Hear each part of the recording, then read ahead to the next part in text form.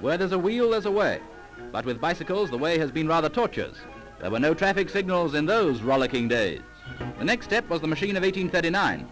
The handlebar was carried in an iron fork, and the wooden wheels were propelled by treadles and cranks fitted to one of the axles. In 1860 came the velocipede, and this one, if you please, is a light racer, made of wood with a metal crankshaft.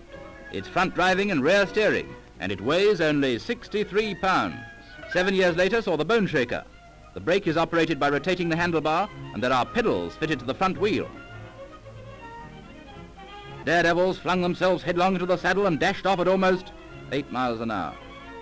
This is the extraordinary of 1878. The front wheel has a diameter of 52 inches. Life became just one mad whirl. The first rear chain-driven safety made its appearance in 1879.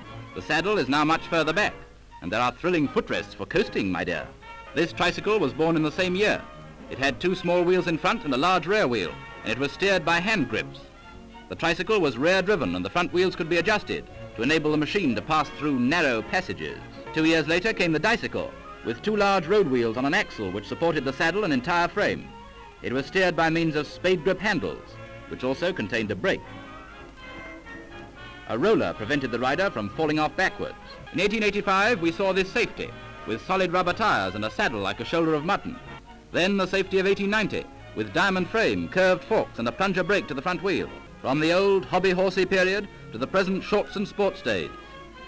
From the tandem and bloomers, I'll bet he talked behind her back, the rascal, to the carefree any old thing of modern youth. Cheerio, old fruits!